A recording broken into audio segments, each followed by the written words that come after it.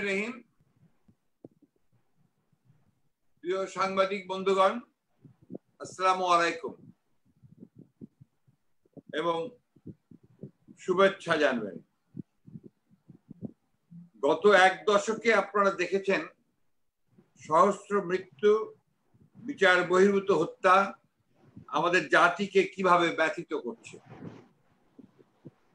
আপনারা জানেন দু হাজার নয় সালের জানুয়ারি মাস থেকে দু হাজার উনিশ সালের ডিসেম্বর মাস পর্যন্ত এই সরকারের আমলে এবং তার অধীনে এদেশে প্রায় তিন হাজার মানুষ পুলিশ, র্যাব, টিভির হাতে হত্যাকাণ্ডের শিকার হয়েছেন। এবং এদের অধিকাংশই বিরোধী দলীয় নেতা কর্মী। এদের মধ্যে হয়তো আমাদের, আপনাদের কারও ভাই, বন্ধু, স্বজন, প্রতিবেশী আছে। এই দশ বছর সময়ের মধ্যে এদেশে জেল কাস্টডিতে মারা গেছে সাতশো পঁচানব্বই জন মানুষ।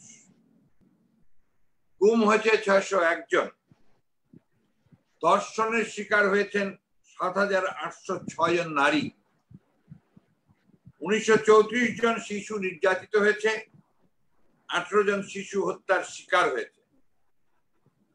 বিএনপি নেতা কর্মীদের নামে এক লক্ষের উপরে রাজনৈতিক মামলা হয়েছে এবং সেখানে আসামি করা হয়েছে প্রায় পঁয়ত্রিশ লক্ষের উপরে মানুষকে।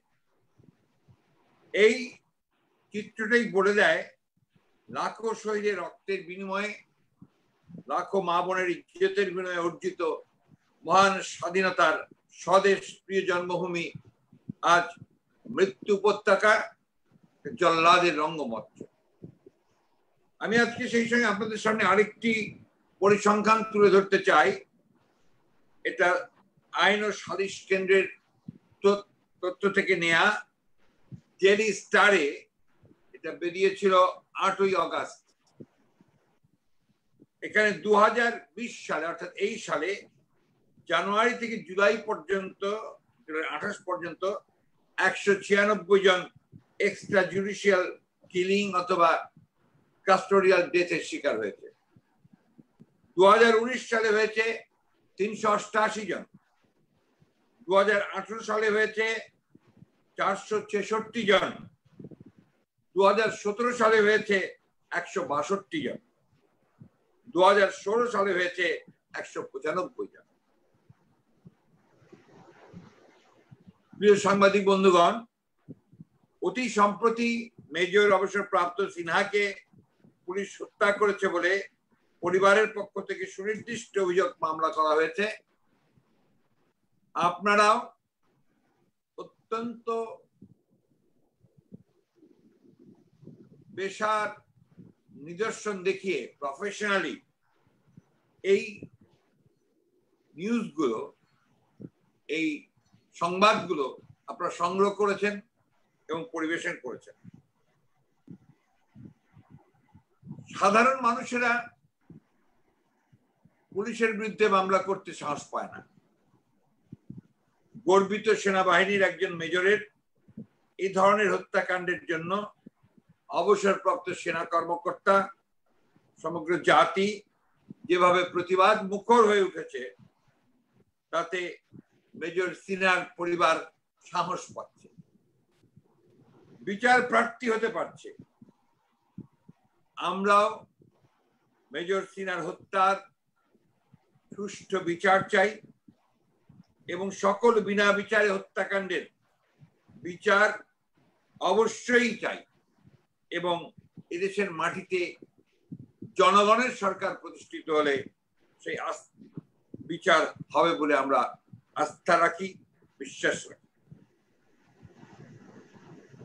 প্রিয় বন্ধুগণ, মেজর সিনহা হত্যাকাণ্ডের পর আইএসপিএর থেকে জানানো হয়েছে যে পুলিশের পক্ষ থেকে আশ্বস্ত করা হয়েছে, ভবিষ্যতে আর এই ধরনের ঘটনার পুনরাবৃত্তি হবে না। যদি তাই হয়, তাহলে আমরা বলতে চাই ক্রস ফায়ারে হত্যাকাণ্ড ঘটানো বা না ঘটানো পুলিশ বাহিনীর সর্বোচ্চ পর্যায় থেকে ঠান্ডা মাথার সুপরিকল্পিত সিদ্ধান্ত। এতদিন বিএনপির পক্ষ থেকে এটাই বলে আসা হয়েছে। আমরা বারবার বলেছি, ক্রস ফায়ারের সাজানো গল্প মিথ্যা, বানোয়াট, এবং এটা এই অবৈধ সরকারকে ক্ষমতায় টিকিয়ে রাখার নীল নকশার অংশ মাত্র। মেজর সিনা হত্যাকাণ্ডের মাধ্যমে এই হত্যাকাণ্ডের প্রেক্ষিত আমাদের এতদিনের আমরা যে দাবি করে আসছি আমরা যে কথা বলে আসছি, সেই অভিযোগ সত্য বলে প্রমাণিত হল। আপনারা ইতিমধ্যেই লক্ষ্য করেছেন যে প্রায় প্রতিটি ইলেকট্রনিক মিডিয়াতে পত্র পত্রিকায় মেজর সিনারকে হত্যাকে কেন্দ্র করে যে ধরনের নাটক পুলিশ সাজিয়েছিল, সেই নাটকগুলো কত মিথ্যা এবং কত নিরপরাধ ব্যক্তিকে তার সঙ্গে যুক্ত করা হয়েছে। এবং দেখেছেন কি চমৎকার একটা ফিকশন ক্রাইম ফিকশনের গল্প তৈরি করা হয়। সেইভাবে গোটা বিষয়টাকে ভিন্ন খাতে প্রবাহিত করে দিয়ে মূল যে দোষী ব্যক্তি, তাকে আড়াল করে নেওয়া হয়। বিনা বিচারে মানুষ খুম গুম, কখনো মুক্তিযুদ্ধের চেতনার সঙ্গে যায় না। এটা বহুবার বলেছি আমরা। আমাদের সংবিধান এটাকে সমর্থন করে না। রাজনৈতিক প্রতিপক্ষকে ঘায়ল করার জন্য ভিন্ন মতকে দমন করার জন্য এ ধরনের গুণ, খুন, অত্যাচার, নিপীড়ন, নির্যাতন international crimes tribunals act ICT উনিশশো তিয়াত্তরের ধারা দুই, দুইয়ের কয়ের অধীনে মানবতার বিরুদ্ধে অপরাধ হিসেবে গণ্য হয়। তাই আমরা বারবার বলতে চেয়েছি আজকে যে আওয়ামী লীগ, শেখ হাসিনা ওয়াজেদের যে আওয়ামী লীগ সরকার মুক্তিযুদ্ধের চেতনার বিরুদ্ধে অবস্থান নিয়েছে, সংবিধানের বিরুদ্ধে অবস্থান নিয়েছে, গণতন্ত্রের বিপক্ষে গিয়ে স্বৈরাচারী পথে হেঁটে মানবতা বিরোধী একটা ফ্যাসিবাদী রাষ্ট্র প্রতিষ্ঠা করেছে এবং তারা সেই কারণেই আজকে এই সমস্ত অপরাধে জড়িয়ে পড়েছে। তাই দেশ আজ এক ব্যর্থ রাষ্ট্রের দিকে এগিয়ে যাচ্ছে। আমরা এই অবস্থার কথা বারবার আপনাদের সামনে তুলে ধরেছি। প্রকৃত চিত্র হচ্ছে যে সরকার একটি নির্বাচনও জনগণের ম্যান্ডেট লাভ করেন। দু সাল থেকে শুরু করে গত আঠারোতে যে নির্বাচন হয়ে গেল, সেটা ক্ষমতার জোরে রাষ্ট্রযন্ত্রগুলোকে অন্যায়ভাবে ব্যবহার করে, অবৈধভাবে ব্যবহার করে তারা রাষ্ট্র ক্ষমতায় টিকে থাকছে, নির্বাচনকে নিয়ন্ত্রণ করে নিয়ে আগের রাতেই নির্বাচনকে তাদের পক্ষে নিয়ে গিয়ে তারা ক্ষমতায় অধিষ্ঠিত হয়েছে। এবং আপনারা দেখেছেন যেটা ল, আইন শৃঙ্খলা রক্ষাকারী বাহিনী, বিশেষ করে পুলিশ, র্যাব, এরা যেন সম্পূর্ণভাবে আপনার আইনের ঊর্ধ্বে। ইমিউনিটি দিয়ে দেওয়া হয়েছে। আপনাদের নিশ্চয়ই মনে থাকার কথা যে যখন আন্দোলন চলছিল উনিশশো চোদ্দ সালের নির্বাচনের পূর্বে তখন একদম সরকার প্রধান থেকে বলা হয়েছে বন্দুকগুলো তো এমনি দেওয়া হয় নাই, বন্দুকগুলো ব্যবহার করতে হবে। এবং যার ফলে আপনারা দেখেছেন সেই সময় সেই আন্দোলনকে দমন করবার জন্য কীভাবে নিরীহ, নিরপরাধ, শুধুমাত্র রাজনীতি করার অপরাধে, ভিন্ন মত থাকার অপরাধে তাদেরকে তুলে নিয়ে আসা হয়েছে। গ্রেফতারও দেখানো হয়নি, অথবা যাদের গ্রেফতার দেখানো হয়েছে, তাদেরকে নিয়ে গিয়ে অস্ত্র খোঁজার নামে তাদেরকে ক্রস ফায়ার করে হত্যা করা হয়েছে। অসংখ্য ঘটেছে আপনারা। আপনারাই রিপোর্ট করেছেন, আপনারাই জানেন।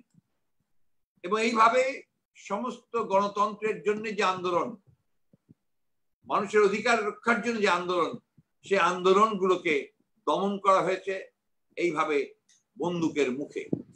আজকে রাষ্ট্রকে পুরোপুরি ভাবে ব্যর্থ শুধু নয় ভেঙে ফেলা হয়েছে। একটি প্রতিষ্ঠান আজকে নেই যে প্রতিষ্ঠানটি কাজ করছে। কারণ এই সরকারের কোনো জবাবদিহিতা নেই। কারণ এই সরকার পুরোপুরিভাবে অবৈধভাবে শুধুমাত্র অস্ত্রের জোরে রাষ্ট্রযন্ত্রকে ব্যবহার করে হত্যা খুব নির্যাতন, গুম করে তারা আজকে ক্ষমতায় টিকে আছে। প্রিয় সাংবাদিক বন্ধুগণ, এই কথাগুলো আমরা অনেকবার বলেছি।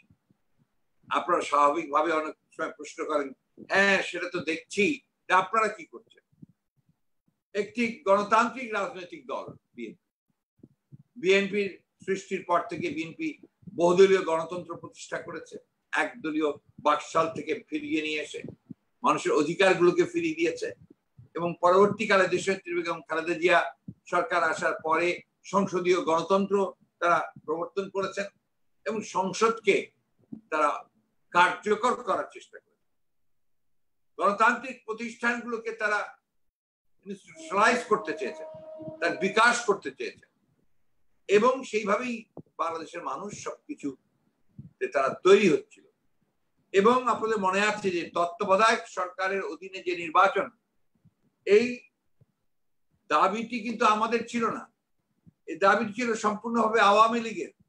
এবং তখন এই আওয়ামী লীগ জামাত এবং জাতীয় পার্টির সঙ্গে এক হয়ে তারা এই দাবিকে আদায় করার জন্য তারা একশো তিয়াত্তর দিন হরতাল করেছেন, আন্দোলন করেছেন। আমাদের নেত্রী দেশত্রী বেগম খালেদা জিয়া, তিনি বুঝতে পেরে এবং জনগণের যে দাবি সেটাকে তিনি মেনে নিয়ে তিনি তত্ত্বাবধায়ক সরকারের বিধানকে তিনি সংবিধানের সন্নিবেশিত করেছিলেন। এবং তারই অধীনে নির্বাচন হয়ে উনিশশো ছিয়ানব্বই সালে কিন্তু আওয়ামী লীগ সরকার এসেছে। সেই আওয়ামী লীগ যখন তারা দুই হাজার আট সালে ষড়যন্ত্রের মাধ্যমে ক্ষমতায় এসে যখন তারা দেখল যে তাদের পক্ষে জনগণের ভোটে নির্বাচিত হয়ে যাওয়া সম্ভব নয়, কারণ তারা কোনো জনগণের কাজই করে না, তারা শুধু দুর্নীতির মধ্যে লিপ্ত থাকে, তখন তারা তাদের যে গ্রুপ মেজরিটি আছে পার্লামেন্টে সেই গ্রুপ মেজরিটিকে দিয়ে তারা তত্ত্বাবধায়ক সরকারের বিধান বাতিল করে দিয়ে আবার সেই দলীয় সরকারের অধীনে নির্বাচন নিয়ে আসলো। তখনই দেশনেত্রী বেগম খালেদা জিয়া প্রেস কনফারেন্স করে বলেছিলেন, এই যে আবার যে ফিরে নিয়ে আসলো পঞ্চদশ সংশোধনীর ফলে গোটা বাংলাদেশকে আবার অনিশ্চয়তার মধ্যে ঠেলে দেওয়া হলো, আবার গণতান্ত্রিক উপায়ে গণতান্ত্রিক সরকার প্রতিষ্ঠার যে প্রক্রিয়া, সেই প্রক্রিয়াকে ব্যাহত করা হলো এবং গণতন্ত্রকে প্রাতিষ্ঠানিক রূপ দেওয়ার সুযোগ একেবারেই কমে গেল। এবং হয়েছে তাই, দেখেছেন আপনার তারপরে স্থিতিশীলতা নষ্ট হয়ে গেছে, অস্থিতিশীল হয়েছে। মানুষ তার অধিকার থেকে বঞ্চিত হয়েছে, প্রতিদিন হচ্ছে। আপনি দেখ, আমি বেশি আলোচনা করতে চাই না। আজকে এই সরকার যে একেবারেই জনগণের সঙ্গে তাদের যে কোনো সম্পর্ক নেই এবং তাদের জবাব, জনগণের কাছে কোনো জবাব দিয়ে করতে হয় না। তার প্রমাণ আজকের এই কোভিড উনিশের আগ্রাসনের ফলে যেভাবে স্বাস্থ্য ব্যবস্থা সম্পূর্ণ ভঙ্গুর হয়ে গেছে, যেভাবে মানুষের ন্যূনতম যে অধিকার, স্বাস্থ্য সেবা পাওয়ার অধিকার, সেই অধিকারটা ধ্বংস হয়ে গেছে। কেউ কোথাও কোনো চিকিৎসা পাচ্ছে না। গতকালই আমার ঠাকুরগাঁ জেলার ভাইস প্রেসিডেন্ট, একজন ভাইস প্রেসিডেন্ট, একজন বীর মুক্তিযোদ্ধা মুক্তিযোদ্ধা দলের তিনি কেন্দ্রীয় কমিটির নেতা, তিনি করোনায় আক্রান্ত হয়ে তাকে ঠাকুরগাঁতে কোনো করোনার চিকিৎসা নেই। হাসপাতালে there is no corona treatment তাকে দিনাজপুর মেডিকেল কলেজ হাসপাতালে পাঠানো হয়েছিল। সেখানেও কোনো চিকিৎসা তারা দিতে পারেনি।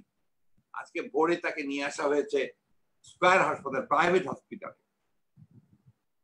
এখান থেকে আমরা বুঝবেন যে কীভাবে মানুষ কোথাও কোনো সেবা পাচ্ছে না। স্বাস্থ্য সেবা পাচ্ছে না। সেই ব্যবস্থাই নেই সিস্টেমটাই নেই। এখন মানুষ মনে করে, হাসপাতালে করোনা বেড খালি পড়ে আছে, কারণ মানুষ হাসপাতালে যেতে চায় না, ভয় পায়। সে নিজের বাড়িতে থেকেই পরামর্শ নিয়ে কোন রকমের চিকিৎসা করার ব্যবস্থা করছে। আপনারা দেখেছেন ইতিমধ্যে কতজন আপনার ব্যক্তিত্ব অত্যন্ত, আপনার সুনাগরিক এবং আপনার যারা বিশিষ্ট নাগরিক তারা কতজন চলে গেলেন আমাদের কাছে? কতজন রাজনৈতিক কর্মী চলে গেলেন? আপনাদের কতজন সাংবাদিক সহকর্মী চলে গেলেন? চিকিৎসক কতজন চলে গেলেন? শুধুমাত্র এই সরকার, ভুল সিদ্ধান্ত এবং অর্থ লুট করার দুর্নীতির যে তাদের যে লক্ষ্য, সেই লক্ষ্যেই তারা দেশকে নিয়ে গিয়ে তারা পুরোপুরি ভাবে একটা ফোকরের অবস্থা করে দিয়েছে। অথচ মিথ্যা কথা বলার কোনো শেষ নেই। আপনারা দেখেছেন যে গত পরশু স্ট্যাটিস্টিক্স ব্যুরো থেকে আপনার গ্রোথ বাড়ছে সবখানে। উন্নয়ন বাড়ছে গ্রোথের উপরে একটা আপনার স্টেটমেন্ট করেছে, যেটা একটা হাস্যকর বিষয়ে পরিণত হয়েছে। তারা বলছেন যে প্রবৃদ্ধি নাকি বাড়ছে। সেবা খাতে প্রবৃত্তি বেড়েছে। যেখানে তিন মাস গাড়ি চলল না ট্রেন চলল না এরোপ্লেন চলল না লঞ্চ চলল না, সেখানে সেবা খাতে প্রবৃত্তিতে কোন দিক দিয়ে বাড়লো? আপনার এক্সপোর্ট একেবারেই কমে গেছে। সেই এক্সপোর্টে প্রবৃদ্ধি বাড়ছে। উৎপাদন খাতে ম্যানুফ্যাকচারিং সেক্টরে নাকি আপনার প্রবৃদ্ধি বেড়েছে? এগুলো আমি তো রাজনীতির কর্মী।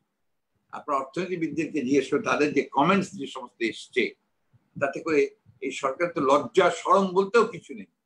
মিনিমাম তার একটা স্ট্যাটিস্টিক্যাল ব্যুরো সবচেয়ে বেশি তার আপনার ই দেবে তথ্য দেবে সরকারকে। এবং যে মন্ত্রী তার দায়িত্বে আছেন তাতে এই ধরনের স্টেটমেন্ট আসার পরেই তো রিজাইন করা হচ্ছিল which is completely true, not true, untrue. স্বাস্থ্যমন্ত্রী তো এখনও ভালো তবিয়তেই আছেন এবং আমাদেরকে বাণী টানিও দিচ্ছেন। এমন অবস্থা হয়েছে যে এখন তথ্য দেওয়া আপনার রেগুলার নিয়মিত যে আপনার ই দিত সেটা তো আপনার বন্ধ করে দিয়েছে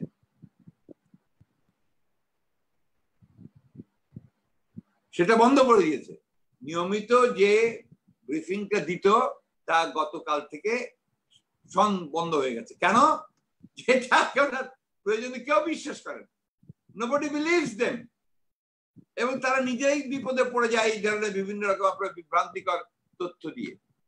মারা যায় বলে আপনার ধরেন এক চৌত্রিশ জন, পঁচিশ জন, অথচ সারা দেশে মারা যায়, দেখা গেল আপনার এক হাজার পাঁচশো। কোন তথ্য সঠিক নেই। প্রতিদিন মারা যাচ্ছে, প্রতিদিন সংক্রমণের হার বাড়ছে এবং প্রতিদিন সরকারের লুটপাটেরও খবর বেরোচ্ছে। আপনার ওই যে স্বাস্থ্য মন্ত্রণালয়ে একজন বিখ্যাত মানুষ, মিঠু, আজকে পত্রিকা দেখলাম, সে বহাল তবিয়তে দেশ ছেড়ে বাইরে চলে গেছে। কি চমৎকার। যারা আমাদের লুণ্ঠন করবে, যারা আমাদের জনগণের কষ্টার্জিত টাকায় ট্যাক্সকে যারা লুট করে নিয়ে যাবে তারা চলে যাবে। দেশ ছেড়ে সহজেই।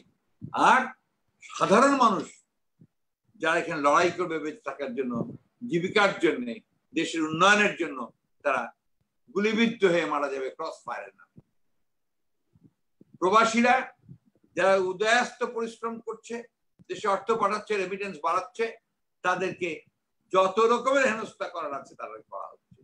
আমি কয়েকদিন আগেই দেখলাম আপনার মালয়েশিয়াতে কিছু আমাদের প্রবাসী কর্মী ভাই তাদের হাজারি, তাদেরকে গ্রেপ্তার করা হয়েছে, তারা বিভিন্নভাবে আটকে গেছেন তাদের খোঁজ নেওয়ার পর্যন্ত কেউ এই বিষয়গুলো প্রমাণ করে যে আসলে এই সরকার সম্পূর্ণভাবে ব্যর্থ হয়েছে বাংলাদেশের পরিচালনার জন্য, বাংলাদেশ রাষ্ট্রকে পরিচালনার জন্য, এবং তারা এই রাষ্ট্রটিকে একটি ব্যর্থ রাষ্ট্রে পরিণত করতে চলে